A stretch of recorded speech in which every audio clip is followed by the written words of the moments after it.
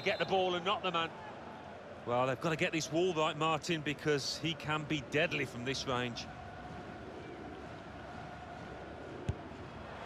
Couldn't have hit it better. Back of the net. I think the keeper was in two minds which way he was going to hit it.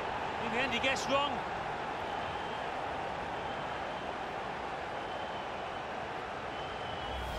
No better time to score than that, and no wonder his teammates are delighted.